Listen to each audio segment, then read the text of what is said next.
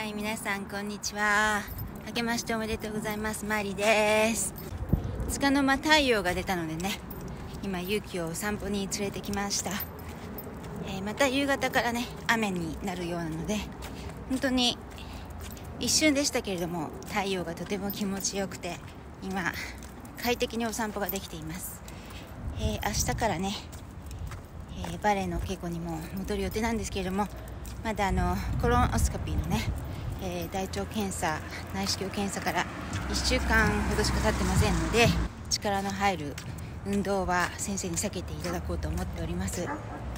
えー、そしてね先ほど検査の結果が来てました、えー、実はポリープがね見つかったんですけど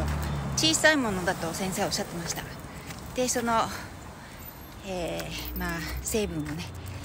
検査したんですけれども今回は、えー、ビナインということで眼性ではなかったということで皆さんにいち早くお知らせしようと思いました。本当にいつも応援ありがとうございます。引き続き私と勇気をよろしくお願いします。